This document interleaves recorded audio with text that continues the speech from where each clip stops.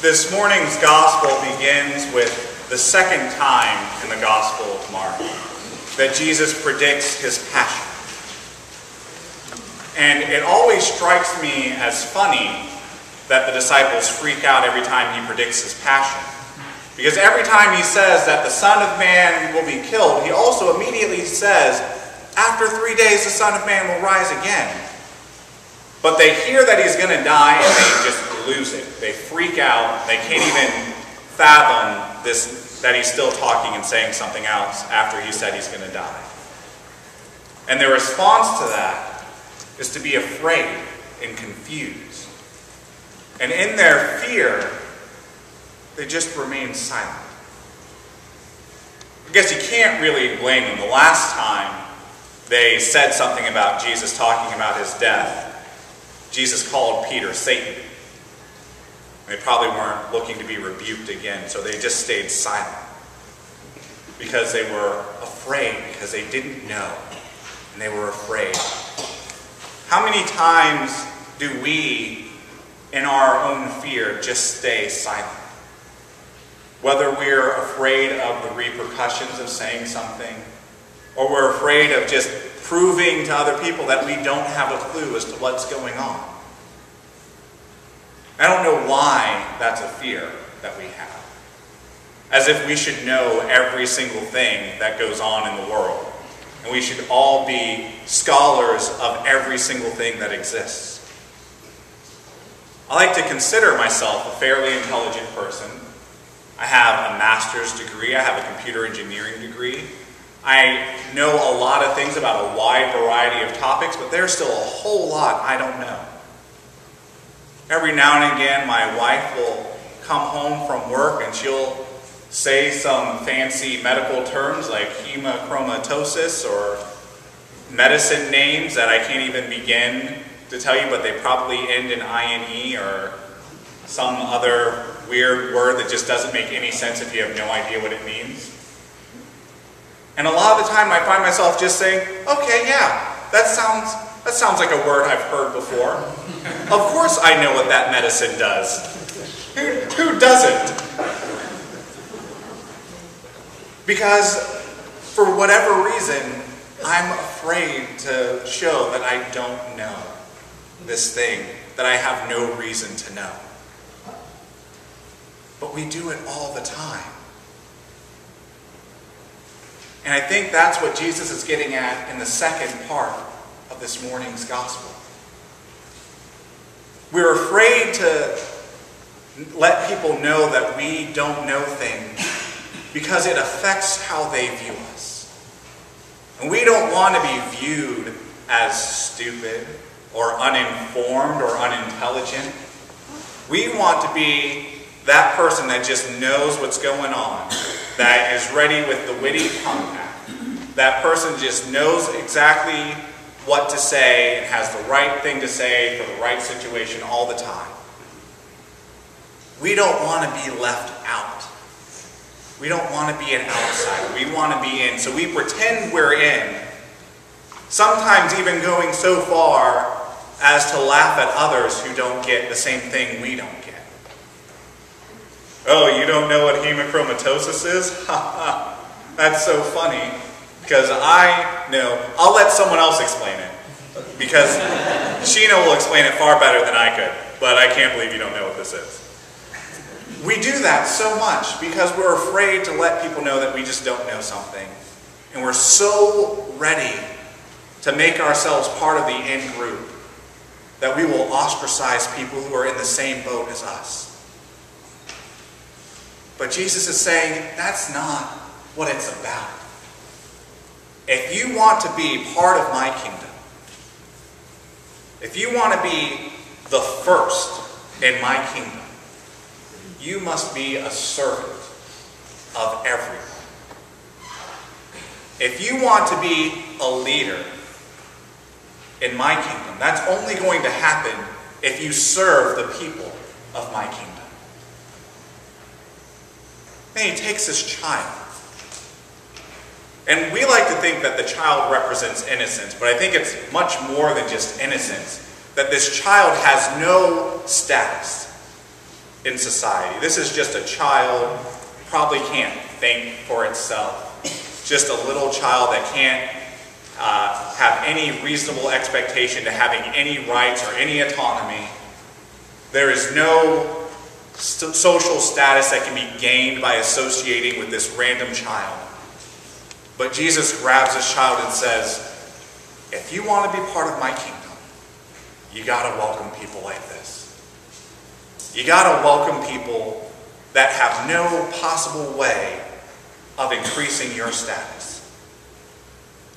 Because status has nothing to do with the kingdom of God. In fact, if we are worried about status, we have missed out on God's kingdom. Because it's status that leads us to where we are today, where so many are ostracized. If we were to retell this story today, in today's society, instead of a child, we would bring a homeless person from the street and say, if you welcome one such, a, such as this, you welcome me. And not me, but the one who sent me. If we bring in someone who is just ridiculously poor, hasn't had a bath in weeks, and smells terrible, but we just welcome them in and say, You're part of our community. That's when we're doing what God wants us to do. Anytime we see people like that, we say, Oh, I can't believe they don't have as good of hygiene as I do. They can't come in. Oh, they don't have the right clothes. They can't come in. Oh, what's with that shaggy beard? That's not acceptable. They're not an appropriate church attire. They can't be part of our club. We've missed out. Because we have made the community of church, the body of Christ, about increasing our standing in the world. It's about making ourselves better. But that's not what God wants. God wants us to serve God's children. And some of God's children are gathered here this morning. But so many more are outside our doors. So many more will never set foot in this church. So many more we will walk right past and not even notice they're there. But that's not the kingdom of God.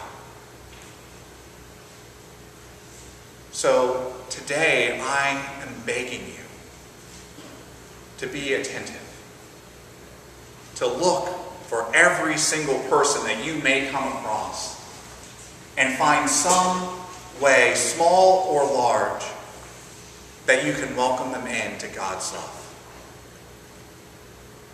Because God's kingdom will never become a reality for us if we aren't willing to first participate in it. It sounds like a daunting task that it's on us to make the kingdom of real, the kingdom of God a reality, but it is. That's why we're here. And if we are not trying to make God's kingdom a reality today, then what are we doing? If we're not trying to make that kingdom something that you can live in today, then we're just any other group of people who gather together so we can feel good about ourselves. I don't know about you, but I could use the kingdom of God in my life. I would love to see a world where you just go out on the street and everyone is nice to everyone else. And everyone just instinctively knows that they are loved so deeply that there's not a thing we could do to separate us from that love. That we go out and we seek to serve Christ in all persons. Because if we want to be leaders in the kingdom of God, we must be servants. We have Jesus as the greatest example of that. Because in just a few moments, we are going to recreate the Last Supper. But something that happens after the Last Supper in John's Gospel is Jesus washing the feet of his disciples. It's Jesus looking at the people, some of whom were going to betray him. Some of whom, most of whom, would scatter when he was arrested. These people who have pledged to follow him and to give their life for him are nowhere to be found at the foot of the cross. And Jesus knows that this is what's going to happen. But Jesus doesn't say, oh, well, you're not fully committed, so you don't count. But Jesus gets down on his hands and knees and washes their feet to serve them. We should do likewise. We should find ways we can serve our community and our world. Because I want the kingdom of God to exist today. And I'm sure you do too. But we're only going to live in that kingdom if we do something to make it happen. So let's stop being a club and let's be the body of Christ. And let's, meet, let's make the kingdom of God a reality. Amen. I'm not a doctor. Borborygmi. Borbagimi. Borborygmi? Borborygmi? Borborygmi. Oh. I feel like it has something to do with the butt. It's an ADHD problem. Being born with an extra of something. It's like you got a bad butt. A name of one of your ribs? Okay, so it's pretty close. Choledocholithiasis. Cloedocolith. Choledocholithiasis? Colodoc. Choledocholithiasis. Choledocholithiasis. I'm guessing if you have choledocholithiasis, it's not a good thing. Colon is acting up. You have two weeks left. Oh, maybe it's like an advanced stage of It has something to do with the groin, pimples, and pus you from that area outwards. Oh, the common bile duct. Ankylosing spondylitis. Ankylosing span- spondylitis? Ankylosing spondylitis. Ankle losing spondylus. Tissue in your ankle isn't as spongy as it's supposed to be. It's when you spontaneously mess up your ankle. The medical term for kinkles. These words are tricky. They trick.